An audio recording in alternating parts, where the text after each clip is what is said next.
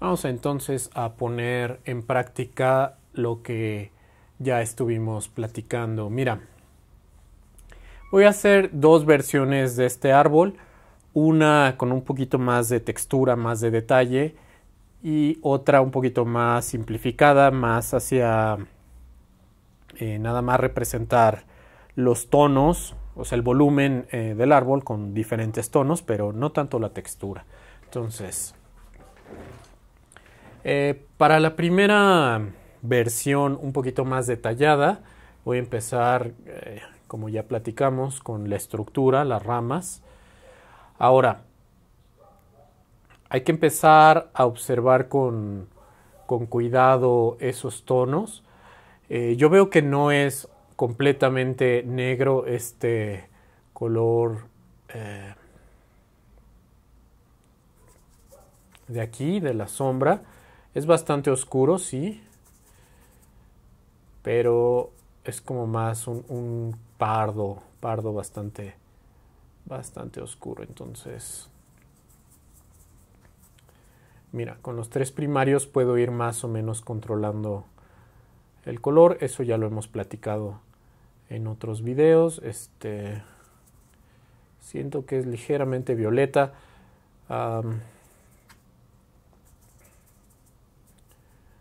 algo así, ¿no? Entonces,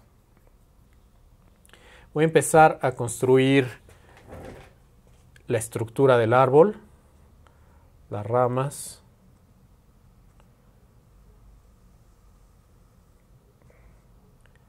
eh, para esto voy a utilizar una pintura no muy espesa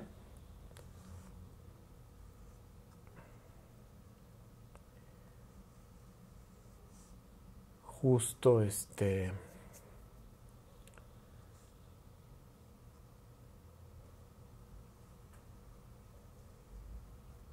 digamos el tener esta pintura un poquito líquida eh, no es demasiado pero sí que corra me va a permitir eh, pintar estas estas líneas más delgaditas ¿no?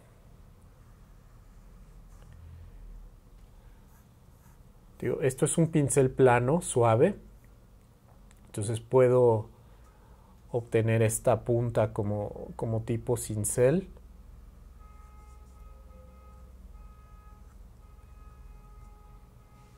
Que me va a ayudar a esto. Ahora, mm, estoy pintando, tío, nada más como cierta estructura aquí abajo. O, este, evidentemente esto se va a cubrir con, las hojas, entonces no importa si quedan algunos huecos. Principalmente creo que aquí en la base es donde, donde sí quiero este, poner un poquito más de, de tonos.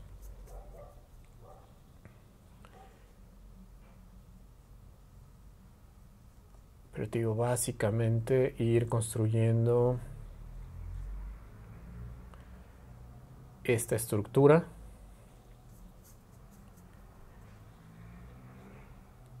de las ramas.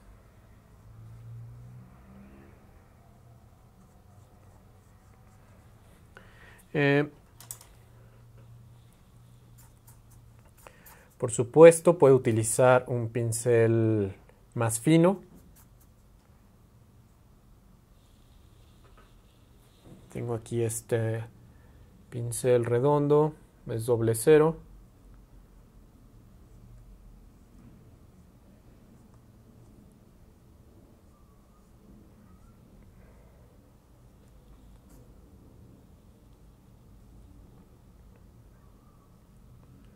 que va a servir para agregar algunas ramas un poquito más finas.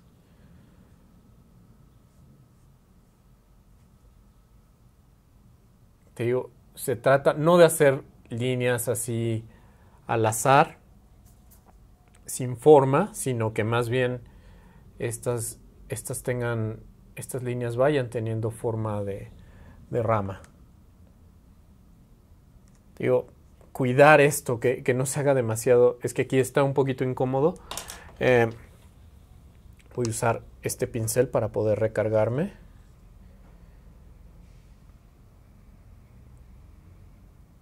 Porque lo que queremos es esto, que sean más anchas en la base y conforme se alejan de la, del centro del tronco se vayan haciendo más, más delgadas. ¿no?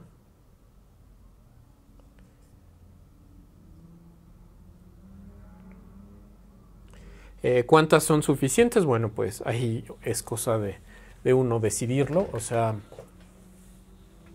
ir decidiendo qué tantas le va poniendo a esto. Ahora voy a pasar a un pincel redondo para hacer la textura de este árbol. Eh, vamos a empezar por las sombras. Mm.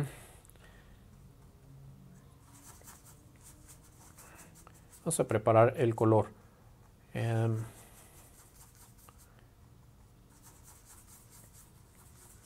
por ejemplo, esto se siente muy verde, muy saturado, entonces una gotita del complementario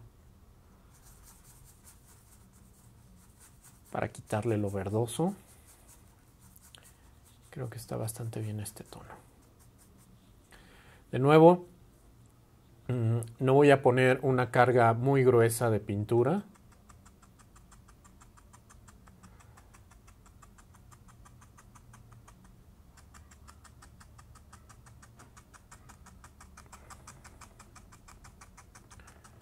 Sino que quiero ir este, logrando cierta textura. Em,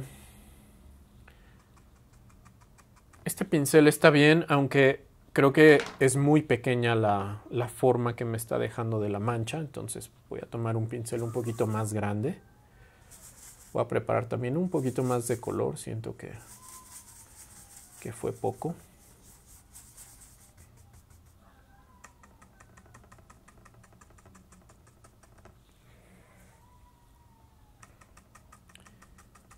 Me gusta más, ¿no? Esta, esta textura.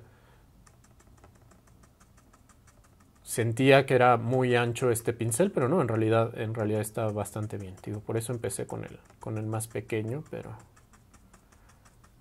pero no, creo que sí, sí lo podemos lograr con este pincel más grande.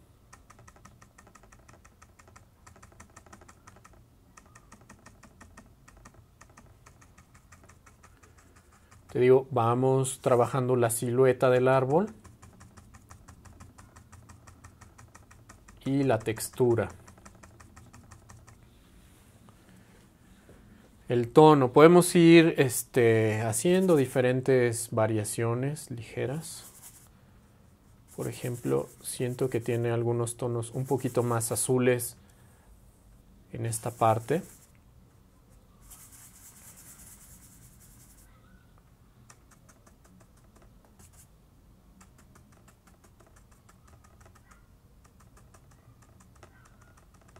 Y son más rojizos hacia el centro.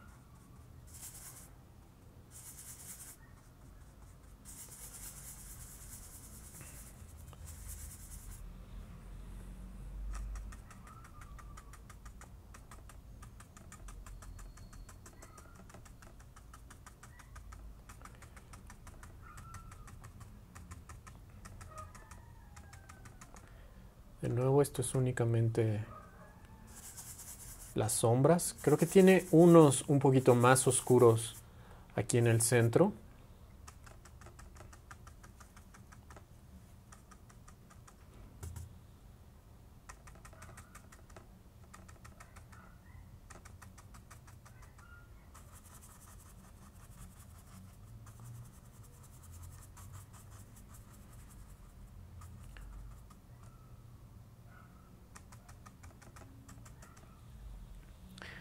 Y creo que perdí un poquito de ramas, entonces puedo regresar y recuperar algunas.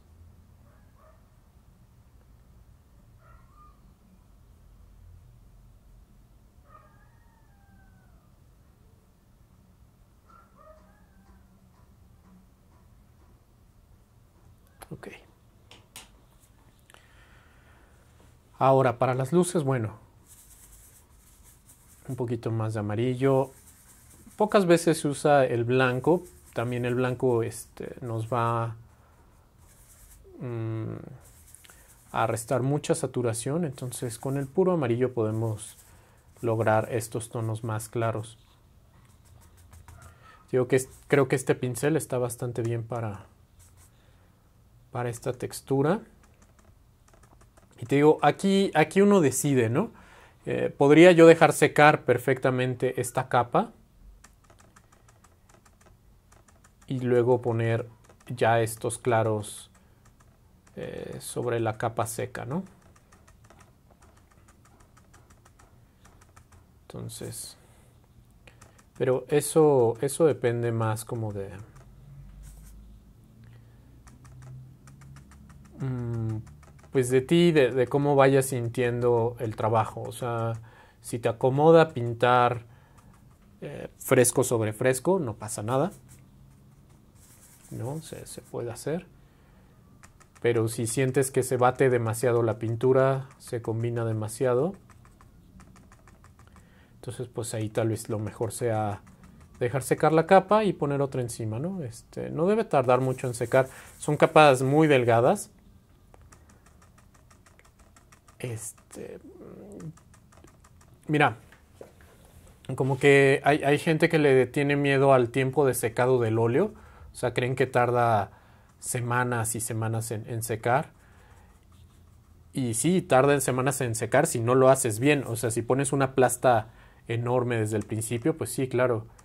Y, si se pone, o sea, si se hace un batidillo y es muchísima pintura eh, sobre el lienzo, pues sí, obviamente tarda 15 días en, secar. Pero estas capas delgadas en dos días debe estar ya seco. O sea, no, no tarda demasiado en, secar el óleo este, aplicado de una forma más cuidadosa o más controlada. Digo, para un principiante siempre, siempre pasa eso, ¿no? Que, que el óleo este, tarda demasiado en secar, pero es eso, porque ponen demasiada pintura. Pero, mm, te digo, en un par de días debe estar ya seco y este y entonces ya puedes aplicar la segunda capa, ¿no? O la tercera, las capas que necesites. Creo que sí tiene algunos tonos un poquito más blancuzcos casi aquí en la en las esquinas.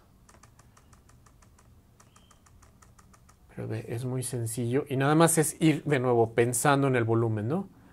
Este, le está pegando a este árbol la luz del lado derecho.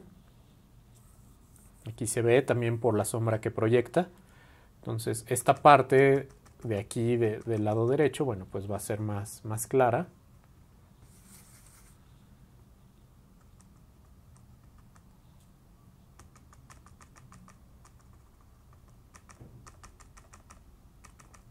Y digamos está viene la luz de la parte de, la derecha y de arriba. Entonces la parte de arriba y la parte de la derecha van a estar iluminadas.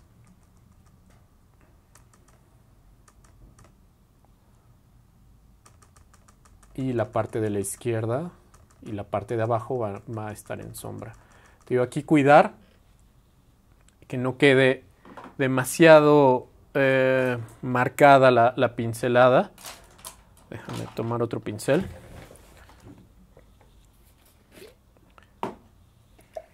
Mm, me refiero a que, bueno, lo que ya hemos platicado, que no quede la, forma de la pincelada demasiado evidente, o sea, que no parezca un pincel, sino que parezcan hojas. Eso es lo que queremos hacer. Entonces, esto tal vez quedó como demasiado eh, como pincel y no como hojas. Entonces hay que romper un poquito esa, esa forma de la pincelada.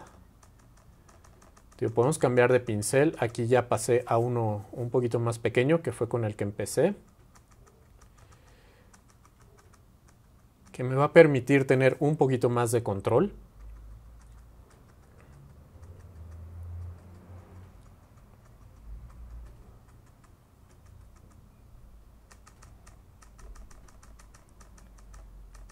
Ya definir algunos detalles.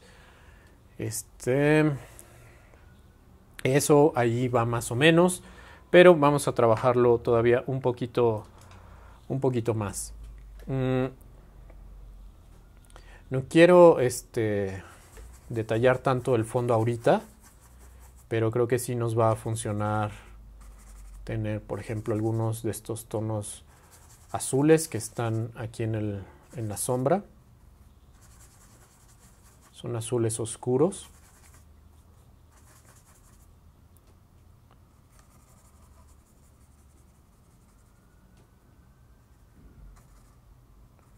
Vamos a poner nada más como como ciertos tonos aquí en el fondo para para ir construyendo ¿no? La imagen, pero te digo, no, no quiero este, concentrarme tanto en el fondo, sino más bien en la figura. Ahora, por ejemplo, aquí esto al fondo tiene un verde muy pálido, ligeramente azul.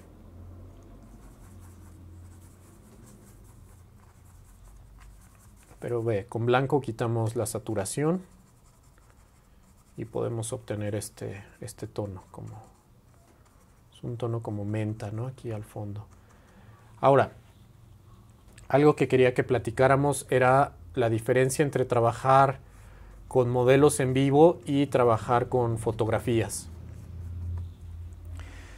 em, porque a veces los alumnos me preguntan oye ¿qué es mejor? Eh, pintar del natural o pintar de fotografía ¿no?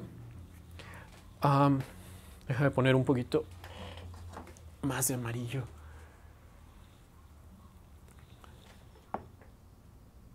Mira, las dos tienen sus ventajas. O sea, la ventaja de, pintar del natural y no de foto es que en vivo vamos a ver mejor los colores, o sea, se observan mejor los colores que en la foto, ¿no? En la foto pues siempre ya es una traducción que hace la cámara de la realidad y bueno, pues los tonos eh, son un poquito diferentes. Y otra cosa, otra ventaja que tiene el pintar de, en vivo es que vemos el volumen de las cosas. O sea, este árbol podríamos observar perfectamente su volumen, ¿no? Su forma. En, en la foto siempre aparece plano. Entonces, pues esa es una, desventaja. Ahora, la ventaja de, pintar con una foto es que la luz no cambia, el modelo no cambia, los colores ahí los tienes, aunque no son tan, tan intensos o, no puedes observar los colores como en la, en la realidad, pero bueno, ya es una interpretación aquí de la cámara y eso este, facilita a veces las cosas porque, eh, digamos eso, el color ya no se mueve, ¿no? O sea, en, realidad, o sea, en el mundo real pasa una, una, nube o cualquier cosa, cambia unos minutos el, la luz, la dirección del, de la luz y el color cambia. Entonces hay que ser o muy rápido, este, ¿no? muy ágil o también... Mm, hay que este, más bien ir recordando, ¿no? O, ir este, haciendo como una interpretación. Decir, ah, bueno, pues el color ya cambió, pero pues yo lo veía así y entonces te puedes regresar un poco a lo que veías hace rato, etcétera. Tienes que tomar esas decisiones en el, natural. Em, pero bueno, esa es entonces la ventaja de pintar con foto, que la forma no cambia, o sea, ya está traducida a dos dimensiones, entonces también es, más sencillo representarla, pero la desventaja es que no vemos el volumen, ¿no? O sea, aquí aparece plano esto, ¿no? No alcanzo a ver exactamente qué rama está más enfrente, qué rama está más atrás, que eso lo vería sin ninguna dificultad en el natural, ¿no? Eh, pero bueno, entonces esas son las, las ventajas, desventajas de, de pintar en vivo o con una foto. Tiene aquí algunos un poquito más rojizos. Luego, luego se hace más gris, pero está bastante bien.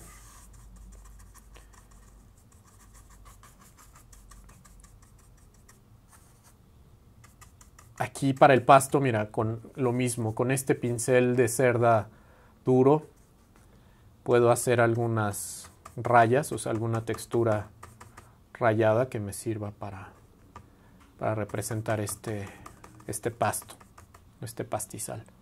¿Ok? Tonos, algunas luces. El blanco, te digo, resta saturación, palidece, pero, pero vamos, es que este, esos tonos yo los veo aquí en mi paisaje. Eh, veo algunos otros más blancos, menos, menos grises, que son como estas florecitas ¿no? del pasto.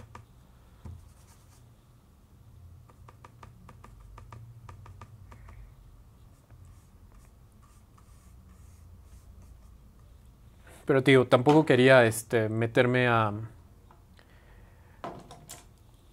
a detallar demasiado la, parte de atrás, nada más era como, como una guía. Aquí se alcanzan a ver algunos tonos del fondo a través de las ramas. Entonces las voy a poner ahorita. Te digo, Mm, también muchas veces me preguntan qué es primero, el fondo o, la figura. Bueno, evidentemente las cosas que están atrás es mejor pintarlas primero porque así este, los demás objetos que van a ir enfrente pues las van cubriendo, ¿no? por ejemplo, puedo regresar aquí a pintar las ramas.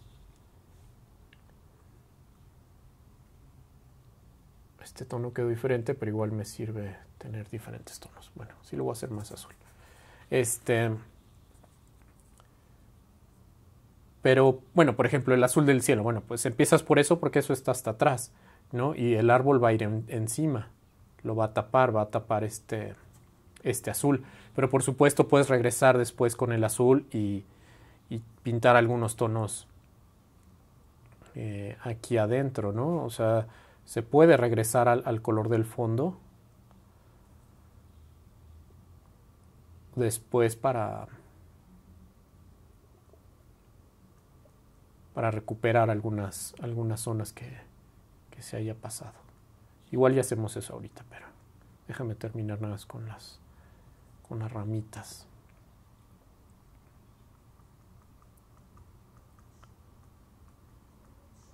Ok. Ahora, esto yo siento que es menos amarillo. Ay, Pensé que era la foto. Este. Siento que es menos amarillo. Es ligeramente más, más rojizo, más anaranjado.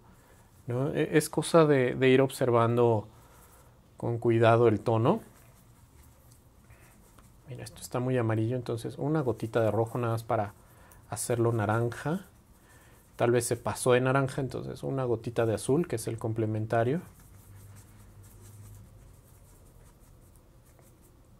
Siempre, siempre, siempre podemos comparar el tono con nuestra foto.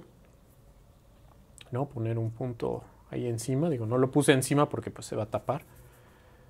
Pero creo que este tono está mucho mejor.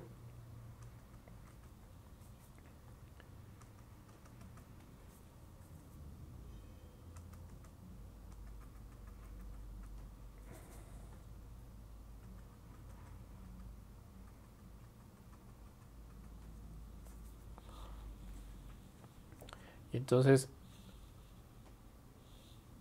estoy pensando en eso, ¿no? En volumen y en textura.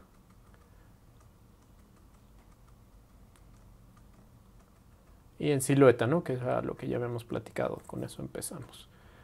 Ahora, estoy viendo que aquí tiene estos tonos y aquí en el centro son un poquito menos, menos saturados, ¿no?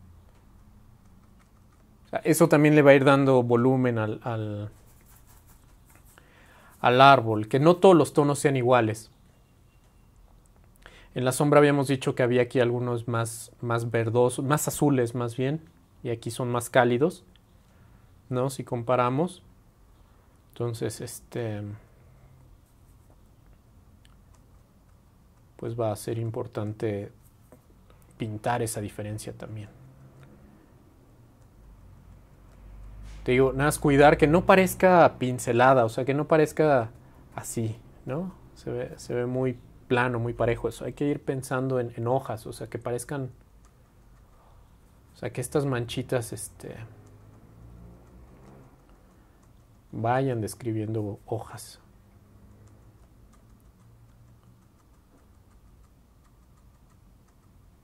Irle dando cierta, o sea, es, es la forma en la que aplicas la pincelada, ¿no? Te digo, este, ya lo, lo habíamos platicado en, en, alguna otra ocasión, pero esto de no, no hacerlas todas uniformes, ¿no? sino tal vez este, hacer unas más redonditas, unas más pequeñas, unas más eh, triangulares, más cuadradas, etc. O sea, irle dando forma a estas manchas. Mira, por regresar aquí con algunas eh, sombras o más bien tonos intermedios.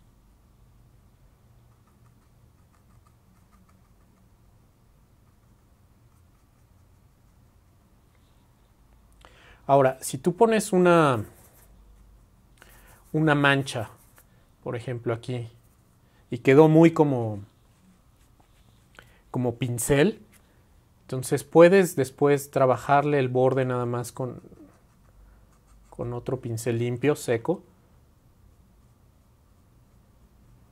digamos, para, para romperla, este, detallarla, darle forma, ¿no? No pasa nada si, si este,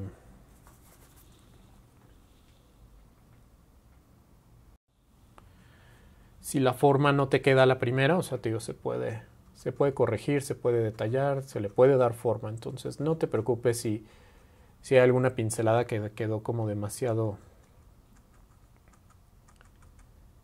demasiado rígida o demasiado sin forma, le podemos después dar poco a poco forma.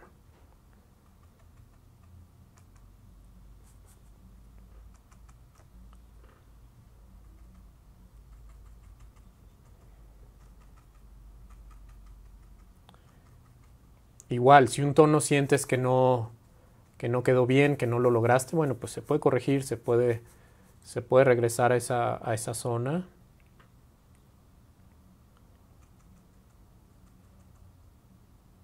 Y volver a trabajar ese tono.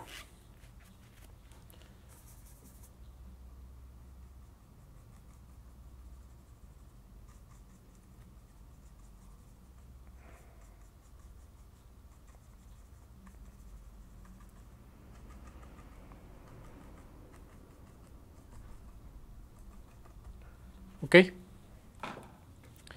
Vamos a dejar este así y vamos a hacer otro. Te digo, esta la idea era así hacer un poquito más la, la textura de las hojas, ¿no? Pero eh, vamos a hacer otro nada más con, con, el volumen del árbol, que es como eh, yo este, trabajo más comúnmente, ¿no? Pero, pero vamos, creo que este lo podemos ya dejar así por el momento. Te digo, nada más como una un pequeño ejemplo. Este, se pueden rescatar, digo, después algunas sombras. Esperar a que seque y, y darle una, una, segunda capa también para darle más detalle, que no se combine tanto un color con otro. Pero aquí lo importante fue esto, ¿no? Ir dejando esos huequitos para que no quede una plasta uniforme y vaya teniendo eh, sensación o textura de, de, árbol. ¿Ok? Pero bueno, vamos a, a otro ejemplo.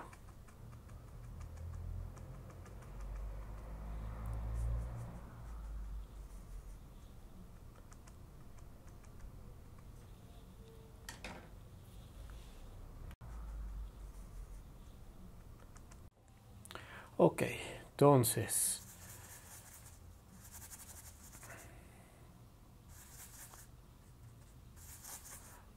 Vamos a trabajar ahora este con, más, ah, pensando más en, en, una mancha más que, que en la textura. Creo que voy a utilizar este pincel suave que me va a dejar menos textura y puedo empezar a, concentrarme un poquito más bien en, nada más la diferencia de luz y sombra, sí en la silueta, pero, pero sí no, no tanto en la textura de las hojitas, ¿no? Em, igual puedo pintar el tronco más o menos. Este es un roble.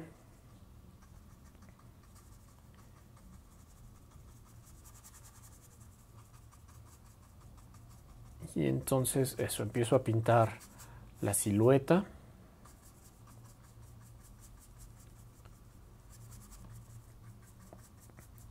Y puedo empezar a,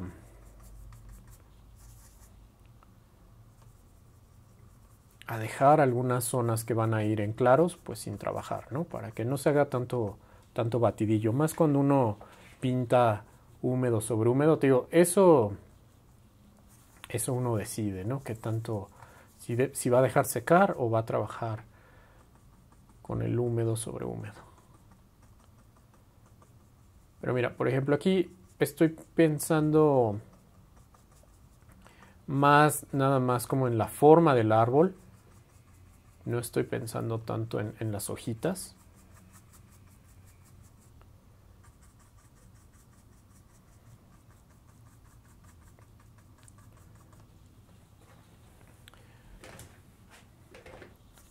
Sino más bien nada más en, la forma, en el volumen. Entonces, este, estos pinceles suaves es lo que me van a hacer, ¿no? Si, si estoy trabajando con pinceles suaves, va a pasar esto, que no voy a tener tanta textura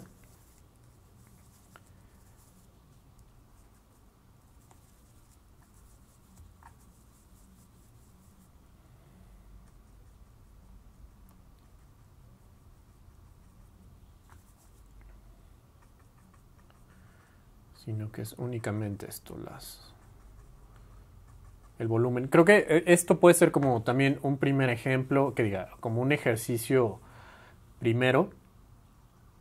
Eh,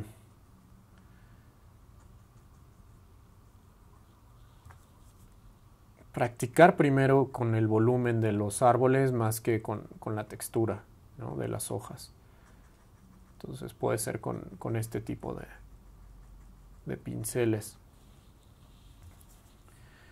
Pero nuevamente, digo, eso tiene que ver, o sea, este tipo de, representación con menos textura o la otra, de, estar pintando las hojitas, creo que tiene que ver más con... Eh, con la forma en que nosotros decidamos trabajar o nuestro estilo o algo así, o sea...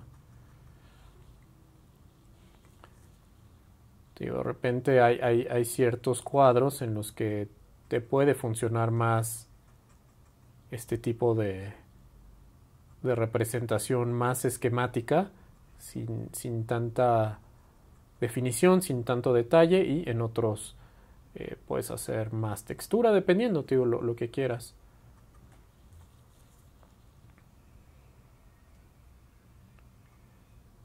Por ejemplo, mis, algunos de mis alumnos que, que les gusta mucho la animación japonesa, ¿no? las, las, películas de animación japonesa. Les gusta trabajar con este estilo, ¿no? O sea, más, más estilizado, más esquemático, sin, sin tanto, tanto detalle, ¿no?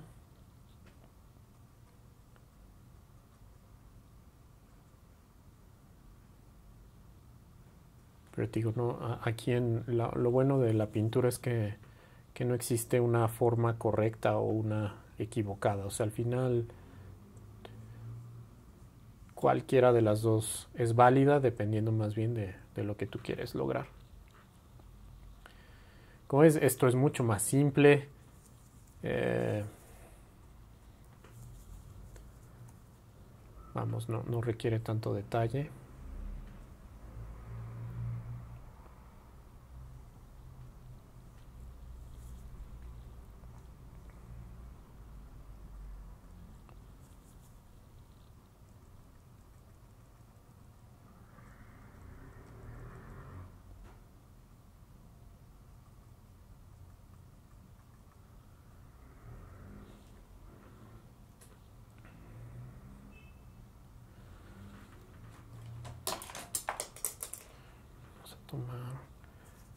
Estas montañas que están al fondo, bueno, pues son un poquito más azules.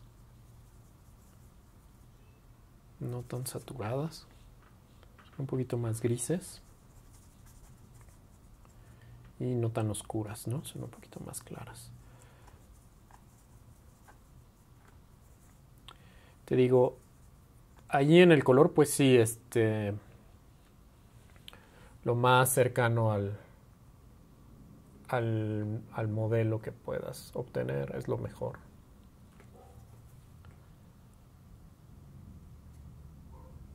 Ya hemos platicado en otros, en otros videos sobre cómo, cómo ir controlando el color, cómo, cómo igualarlo. Pero de todas maneras, si necesitas que,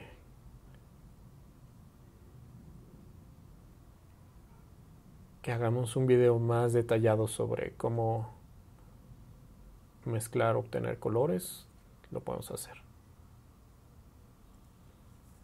También es práctica, ¿no? O sea,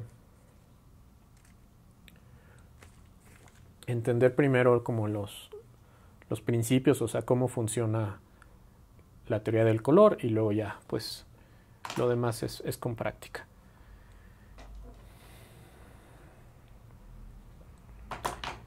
Ahora déjame pintar esta carretera.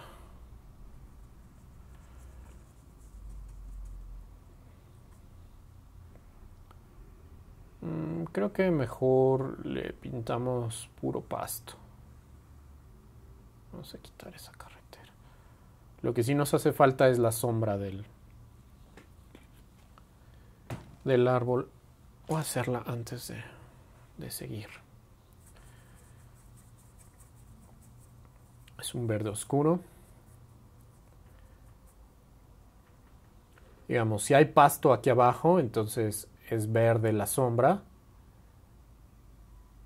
El árbol tapa y no deja que entre la luz, entonces ahí debería haber negro. Entonces la sombra es como un verde más negro. Y como el cielo azul está bastante intenso, puede ser que, que, que coloree ligeramente como un reflejo, un rebote azul en esta sombra. Entonces, básicamente esos son los, los colores que vas a utilizar para la sombra, ¿no? Negro para oscurecer, verde porque pues es el color del pasto y azul porque el cielo refleja un poquito de su, de su color. ¿No? Pero ahora lo que platicamos igual antes. Si quedó muy tosca, por ejemplo, aquí en la sombra la pincelada, bueno, pues puedes regresarte, corregir, eh, definir el contorno de, de la pincelada, ¿no? Y que quede más, con más forma. Tiene sombra de este lado también, entonces voy a pintarla. Si esta luz es de mediodía, ¿no? O sea, la, el sol está justo encima de este árbol.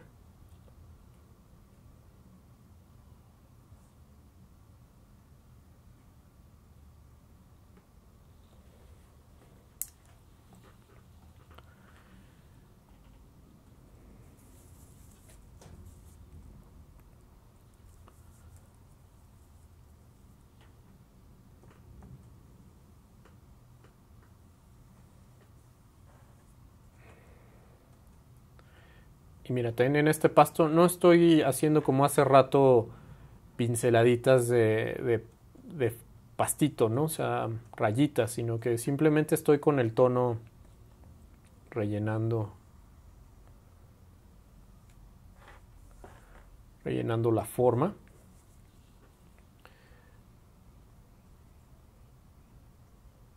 Puedo darle tonalidades, eh, luces, sombras, manchas, o sea, pero eso estoy como... No me estoy preocupando tanto por, por la textura del, del pasto. ¿no? Es, es, más bien como una plasta un poco, pero digo, sí podemos ir dando como, como ciertos tonos para darle volumen ¿no? y que no quede extremadamente plano ese, ese pasto. Algunas luces ya un poquito más, más intensas aquí arriba.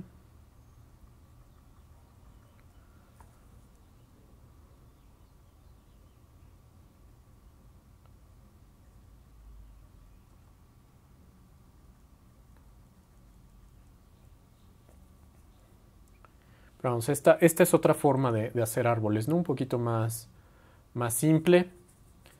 Eh, ya te digo, puedes estar aquí también sacándole más tonos y detalles a, a tu figura. Regresar, marcar algunas sombras. Pero aquí, aquí lo importante era más la, la, estructura del árbol, la forma en general, el volumen y no tanto la, la textura de las hojitas. Entonces, te digo, eh, también si se te dificulta al principio lo de la textura de las, de las hojas, yo empezaría haciendo algo así primero. Este, y después a esto, encima, si quieres todavía, le puedes ya sacar ahora sí algunas algunos detalles de, de, hojas, ¿no? Pero ya, al menos ya, ya te concentraste en la construcción de la forma.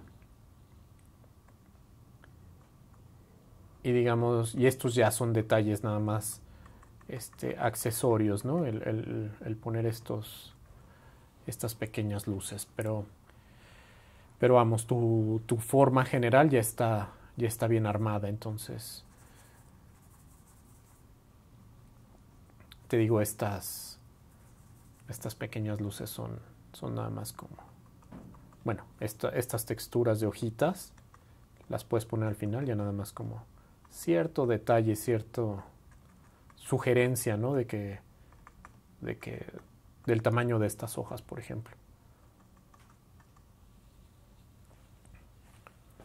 Porque sí, este, este roble de repente pierde un poquito de dimensión, ¿no? No se entiende perfectamente de qué tamaño es. Digo, en la fotografía hay unas bancas y unas rocas y eso, eso le dan este eh, dimensión, ¿no? O sea, le dan escala al, árbol, porque si no tienes nada este, que, que, le dé dimensión, no sabes si es un árbol de 3 metros o, o de 20, ¿no? O sea, Pero si pones unas pequeñas rocas aquí,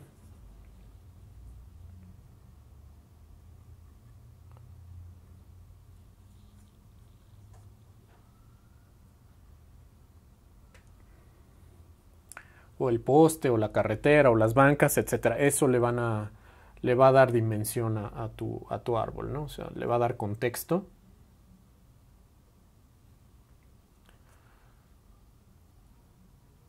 Y ese contexto es el que va a definir el, tamaño. Bueno, sí, sí va a definir eh, qué tan grande es este árbol.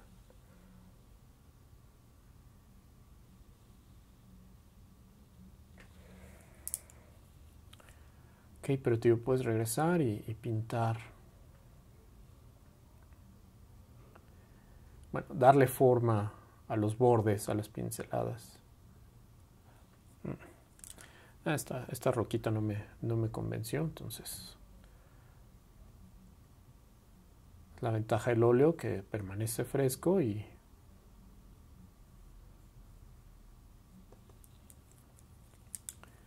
podemos borrar cualquier cosa que no nos guste. Te digo igual, Esto, esto es como una capa nada más, se puede dejar secar, después eh, trabajar más, eh, volver a sacar luces, sombras, lo que necesites, ¿no? Pero, pero vamos, era, era la otra idea que, que, quería que viéramos, porque no quería que te quedaras nada más con la idea de que siempre se tienen que hacer los árboles con, con texturita, ¿no? O sea, con textura de hojas, o sea, se pueden hacer más como con mancha y nada más eh, definir las, las luces, las sombras, el volumen y listo, ¿no? No es necesario a veces eh, pintar las hojitas porque, digo, e, es una cosa más de gusto, pero al menos para mí a veces siento que, pintar las hojitas se ve medio eh, demasiado detallado y, puede tender a, verse un poquito rígido. Entonces, a veces a mí me gusta más trabajar de esta forma, ¿no? Nada más indicar que ahí hay un árbol, pero sin, sin tanto detalle. Al final, pues está, al, puede ser que en mi cuadro esté lejos, no, no, sea protagónico este árbol y solamente quiere indicar que hay por ahí un árbol, pero, pero no quiero que tenga tanto, tanto detalle, ¿no? Digo, eso depende del, cuadro. Si por supuesto el único protagónico es el, el árbol, bueno, pues ahí sí valdría la pena tal vez trabajarle con, con más detalle, pero si es un elemento extra de, de, una composición o de un paisaje, puede quedar así más, eh, más sugerido, ¿no? Sin, sin tanto, tanto detalle, o también si es un árbol muy pequeño que está ahí al fondo, bueno, pues con que pongas una sugerencia de luz, de sombra este, y de volumen, no es necesario que tenga tanto, tanta textura, ¿no? Ok, eh, pero bueno, con esto terminaríamos estas clases de cómo pintar árboles. Dime si te queda alguna duda y con gusto eh, la podemos eh, resolver en algún otro video. Pero bueno, creo que con esto eh, avanzamos bastante eh, sobre este tema y te digo, bueno, cualquier cosa ya sabes, estamos en contacto. Gracias y bueno, pues seguimos todavía con, con más clases.